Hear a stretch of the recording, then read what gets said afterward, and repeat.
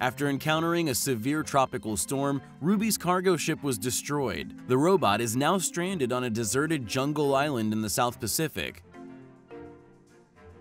Your goal is to help Ruby survive for as long as possible by pushing off the coconuts and bananas and keeping the island afloat. Every few seconds, a banana or coconut will drop on a random location on the island. Each fruit adds weight to the island, causing it to sink. You get a point for every second Ruby survives on the island, but your challenge ends as soon as the robot touches the water.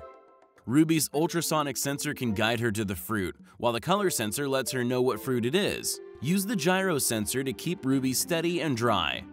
May the code be with you.